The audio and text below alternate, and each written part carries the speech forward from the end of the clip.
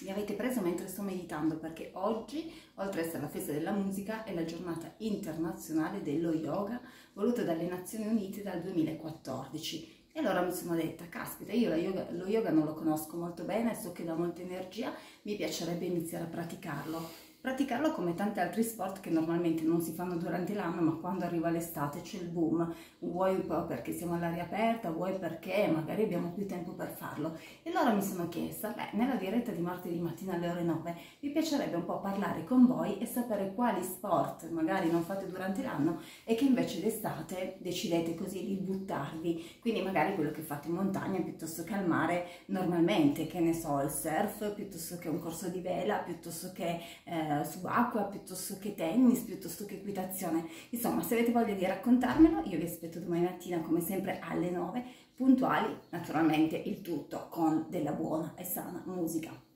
Un abbraccio, io adesso torno, intanto mi informo e poi vedo di fare un po' di yoga anch'io.